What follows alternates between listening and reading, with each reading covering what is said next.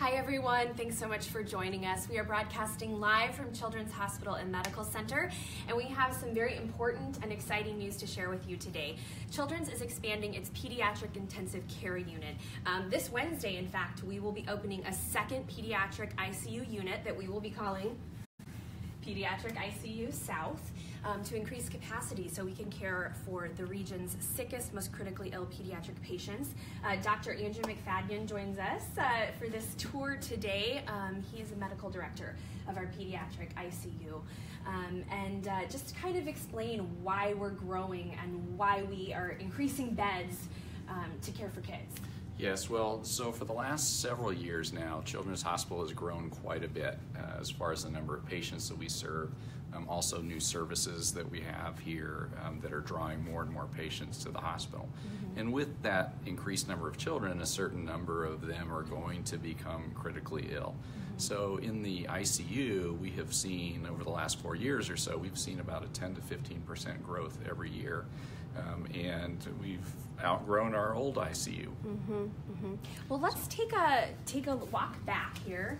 Um, so this morning, employees had a chance to check out this space for the first time before we're inviting you guys in. And we do want to invite your questions. If you have questions for Dr. Macfadyen, uh, please put those in the space below um, as we broadcast. So, how many rooms? Kind of as we walk back to one. How many rooms are back here, and what makes a pediatric ICU unique? So our current ICU has 19 beds. This space gives us another nine beds. So mm-hmm. now we're up to 28 beds. And uh, my prediction is that uh, we'll probably have those filled this winter. Um, but uh, but the extra nine beds will help uh, us to keep from transferring patients to other hospitals. So mm-hmm. uh, last year we transferred over 100 kids or turned away over 100 kids and had them go to other children's hospitals or Nebraska Medicine.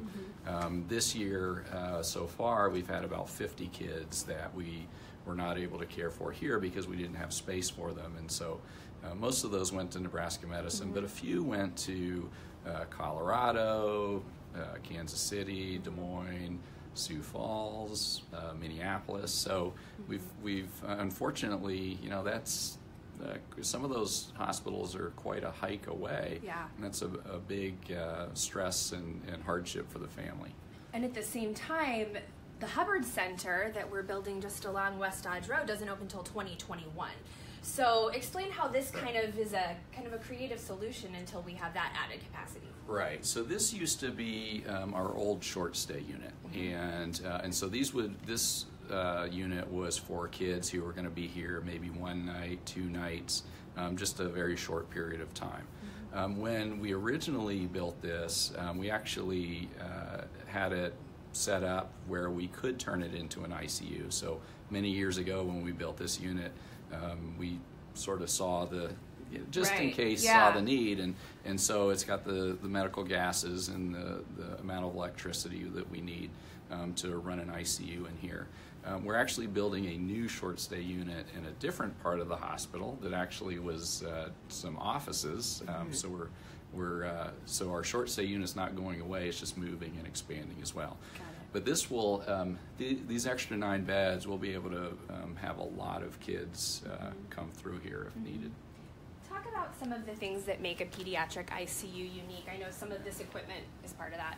So there's three things that you need for a, a pediatric ICU. You need equipment, um, you need uh, the ability to monitor ex, uh, extra sick kids, mm-hmm. and uh, and then you need the people. And the people are probably the most important because uh, it takes a lot of training um, to uh, uh, get them to know and do what they need to know and do, and that sure. and that takes uh, quite a bit of time and effort. Mm-hmm. Um, and then uh, the equipment, um, we basically can monitor just about everything that you can think of. So, what's this one up?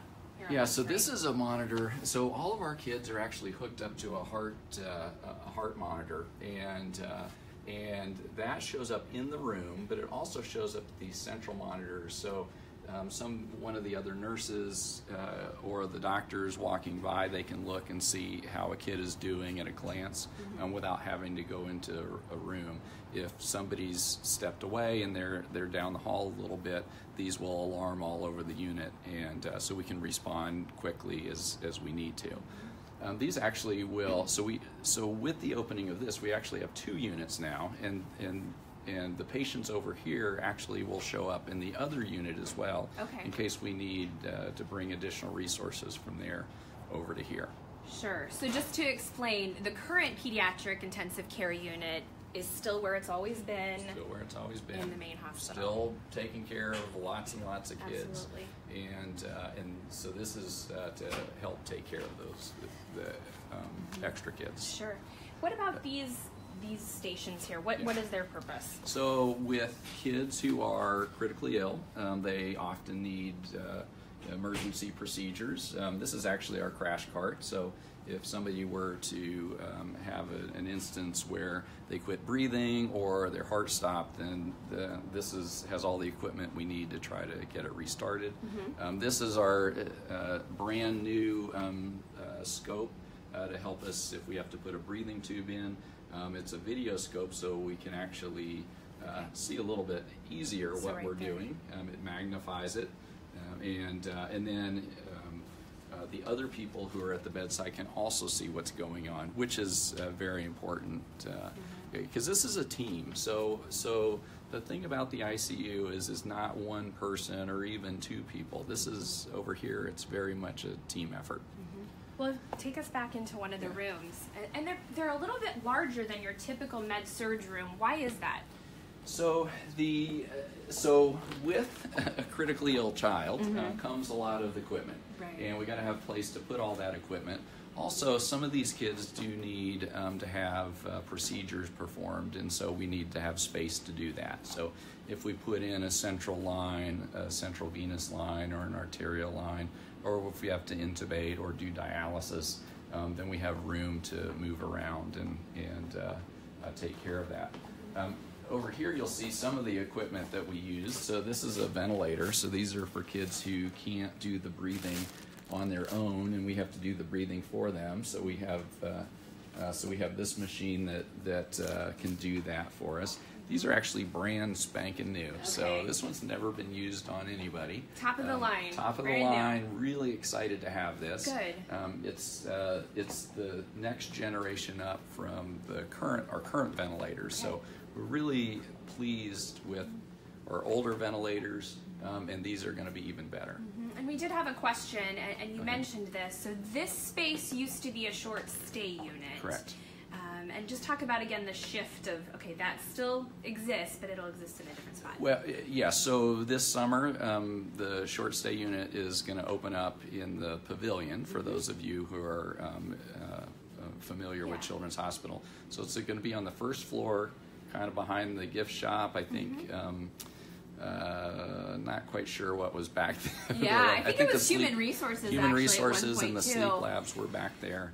Um, so all that's moved out, and that's going to be 13 beds. So this is a nine-bed unit. They're going to go to 13 beds. Um, so it'll be a, a net gain of four beds. Um, so that so that's what's going to happen. That's what's happening with them. So they won't Mm-hmm. Be opening until this summer. Okay. Now, what about this monitor? Is that the heart monitor? Yeah, so we actually, so there's two. There's a big one that stays at the bedside all the time, and there's a little one that follows the patient around. So if the patient needs to go off the floor to, say, the operating room or to radiology, um, that uh, monitor goes with them. And the information that we get um, from that monitor goes to a central server. So no matter where they are, where the kids are, are in the hospital, uh, we collect that data from them, and so we can go back and review it if we need to.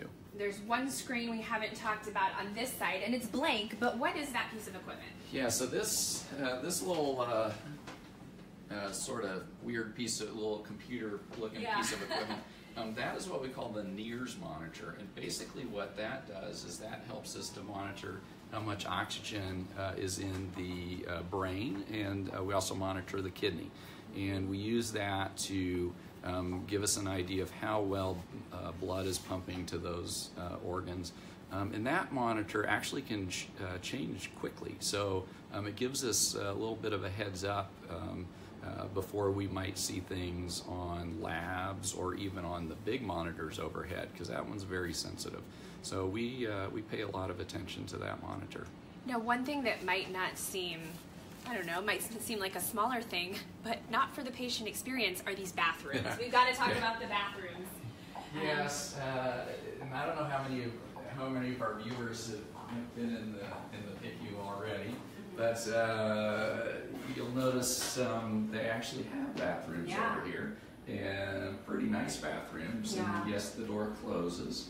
Uh, I'm seeing a lot of thumbs up on the screen, which is funny. They're like, yes. Yeah. Because in our current, so in the Yeah. pediatric ICU North, we don't have bathrooms in the rooms, correct? no, well, they all, they're the toilet under the Okay, sink. okay. which But it's I- not like this ensuite type of bathroom. I don't know that any parent's ever been brave enough to use that, Mm-hmm. but uh, but the uh, but yeah. So this unit does have bathrooms, and then uh, our in the new tower, um, Mm-hmm. all of the ICU beds are going to have bathrooms in the room. Mhm. And that's kind of what this whole process points to is the need for growth, and we're building this exciting new Hubbard Center for Children. Um, so we did have a question about, and I'm going to have to get on the other side of the screen so I get it right. Um, how will transferring back to the hospital go in serious situations? That's the question. So we have, um, uh, well, first of all, um, we can do, we're going to do everything over here except ECMO. Okay. So um, our kids who need Life heart- support, heart lung bypass, Okay. yeah, heart lung bypass. Um, they're actually um, going to go back over to PICU North, and uh, that's where we'll do um, we'll, we'll do ECMO over there. Mm-hmm. Um, if the kid is too unstable to go over there, for us to transport over there, the ECMO team can come over here, put them on ECMO, and then we'll we'll uh, take them over there. Um, uh, otherwise, the um, everything else we do over there, we can do here. We have uh, pediatric intensivists over here, and the that are assigned to this unit, and then uh, PICU nurses, um, respiratory therapists. So um, we uh, don't anticipate we're going to be the once a kid's over here. Right. Um, really, the only place they should go after here is to a regular room on the floor. One question that I heard this morning was what kind of patients do you care for in a pediatric intensive care unit? So, could you just speak in general of um, how sick these kids really are? So these kids are the sickest of the sick. So um, uh, they can be newborns, uh, depending you know, if they have heart disease, we'll care for them. Um, they uh, most of the time though they're old, you know, a little bit older kids. So most of the newborns will go to the uh, newborn intensive care unit. Um, but everybody else after that, uh, they come to us, and we have so we have kids that are newborn, and we also have kids in their 20s as well, uh, adults in their tw- 20s, and and typically the ones in their 20s are are uh, people that have been with us their entire lives, and uh, and they continue to to come back to Children's Hospital because of their uh, their unique needs. Um, we have kids with diabetes, we have kids with pneumonia, asthma, we have a lot of kids with viral illnesses that can't breathe, and, and we have to do the breathing for them. Um, we have kids with head injuries, we have um, a lot of kids uh, after surgery, um, we'll monitor them here. So, all of our kids who have open heart surgery, um, they'll come to the uh, PICU uh, for care afterwards. Um, we do a lot of neurosurgery uh, procedures as well, so brain tumor removals, um, do uh, uh, cranial reconstructions uh, for for kids whose uh, bones fuse their their skull bones fuse too quickly. Um, we do. Uh, we have kids who've just had spinal fusion surgery, so you know we've uh, they've fixed the the curve in their back for for scoliosis. Um, so basically, um, take care of any kid mm-hmm. anywhere, anytime, mm-hmm. and that's what we love to do. So it really pains us when we don't get to be the ones to do Sure. it, and we have to send them off to one of our one. Not, I wouldn't say competitor. One of our colleague Yeah, hospitals yeah, that do they in the do a great they do a great job. Sure. And you know we're we're really really glad we're that they're there for us, mm-hmm. but we want to be the ones taking care of these kids. And how hard is that? I mean, you kind of just uh, segued into this, but how hard is it when it's a patient and a family that maybe you've cared for before and they want to be here. How hard has it been, first and foremost, on, on the family when you say, oh, we're, we're full, but then also on your team? Because, like you said, you want to be the person to, to deliver that very best care. So just speak about that. Yeah, well, it's really, really hard for the kids that have been with us for a long time. They've been in and out of the hospital, and, and we've gotten to know them over the years. And then to say, I'm sorry, we don't have room for you, we're going to have to send you to a different hospital, it's really, really tough. And, uh, um, and the, the families are they're they're good sports about it, and Yeah. you know they, they want what's best for their kid, and they, they understand. But uh, but uh, it's you know going to Minneapolis is a long drive, um, and especially if you're not from Omaha, say you're from Lincoln or Grand Island. Now all of a sudden you're adding an extra six hours onto your drive. That's that is a tough, uh, you know, tough position to be in. The other thing is these are these are our neighbors. I mean, these are our friends. These are our families, and um, you know, there's a lot of times we're caring for people the nurses went to high school with, with mom or dad or or you know it's somebody's cousin. And so you know we we take this very personally when we can't we can't care for them. As we've been looking around these rooms, I mean, it's clean, um, very calm right now, but ultimately, this is going to be a very intense environment. So, I just am curious for you personally, why did you go into this type of medicine, critical care for children? Um, how'd you go into that? Well, it uh, so uh, spent a lot of time in the in the neonatal ICU as a Uh-huh. resident, and uh, and I liked the type of patients that were in there. Mm-hmm. Um, but uh, then when I went and spent some time in the pediatric ICU and just seeing all the the different uh, problems that they had, and the kids were a little bit older, you Mm-hmm. could.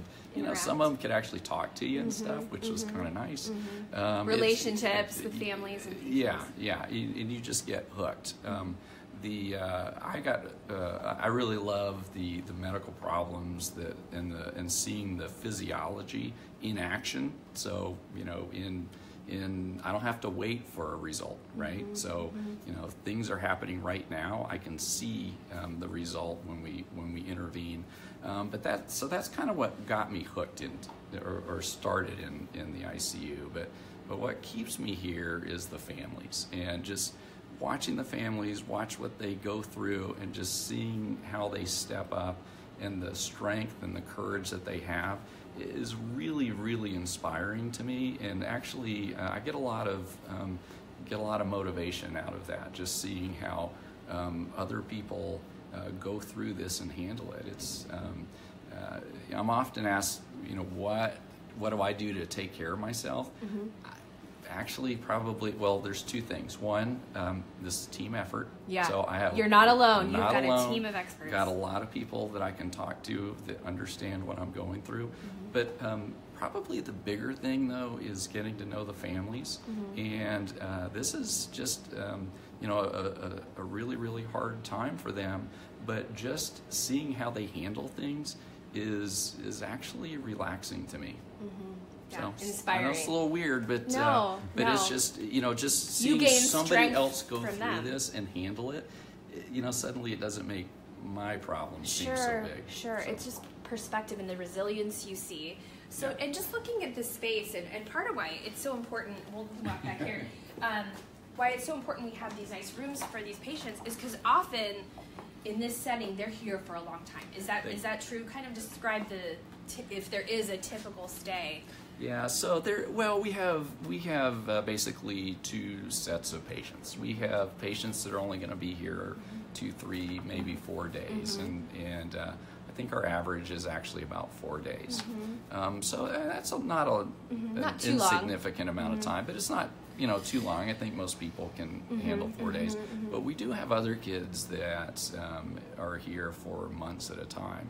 So it's not unusual to have a few, to have three or four kids in the ICU that um, are here for four, five, six, eight months. Yeah. Um, I think our record was three years. Right. Um, Wow. Uh, yeah. Wow. So the, we had one little boy went home after his third birthday, Wow. and uh, had been in, I, in ICU his entire life. So they know they get to know these rooms, our Yes. team, the entire Mhm. hospital so well.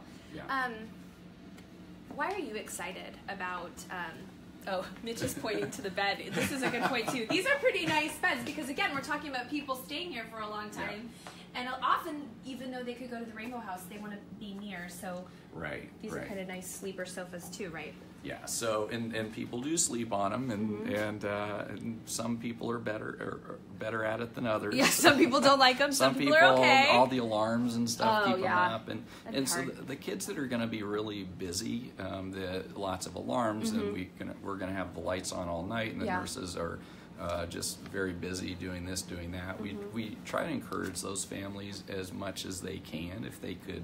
You know, uh, we, we do have um, some parent sleep room, couple parent sleep rooms Mm-hmm. here, um, but then if they could, you know, go home or go to the Rainbow House so they can get a little bit of a break really really hard to get the parents to do that and we understand that Mm-hmm. Sure. but um, but you know we tell them it's okay if they if they do and we'll Yeah. we'll call them and and something happens Yeah, we've gotten some comments. Um, one mom said that she spent over 400 days here, and then we saw another over uh, four months. So, yep if you could just speak to those relationships that you have, that you develop in a pediatric intensive care unit setting, and Yeah. how much those mean to you.